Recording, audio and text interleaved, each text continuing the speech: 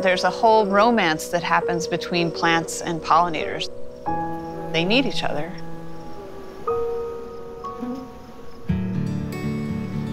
Beekeepers in general, what they do is really not very celebrated.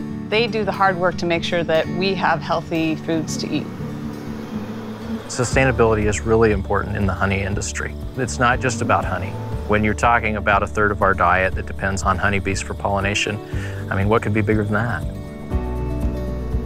It's supported my wife's family and my family for, you know, three generations. We rely heavily on our neighbors to allow us to place bees on their property. It's this relationship that allows us to live and work in this beautiful place that we love.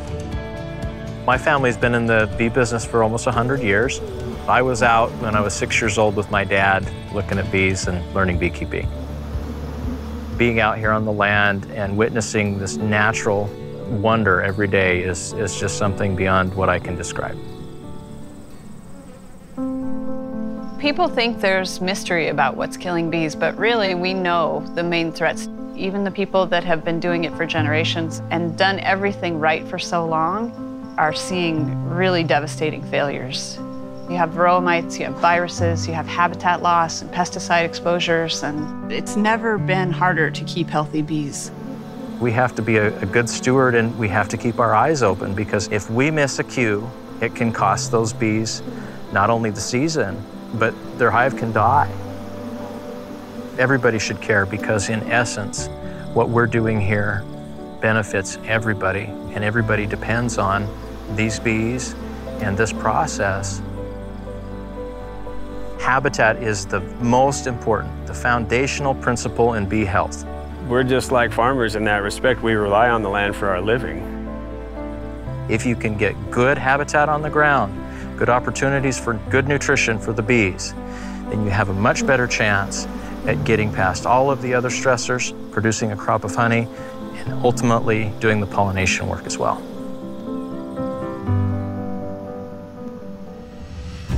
I think there's hope.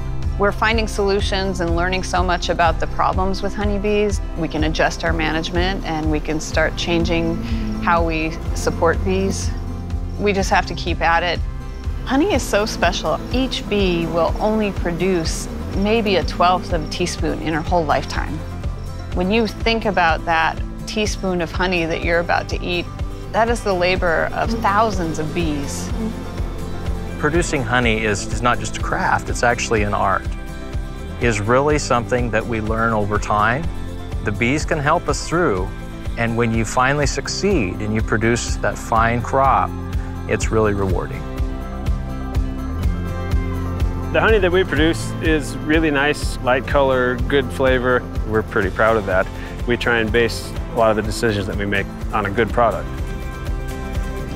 We've been able to raise our kids in a small community and, and community that supports us.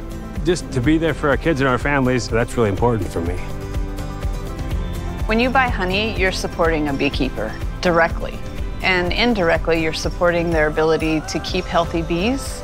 And healthy bees are connected to our ecosystems and to our food supply. So you're investing in a lot more than just beekeeping.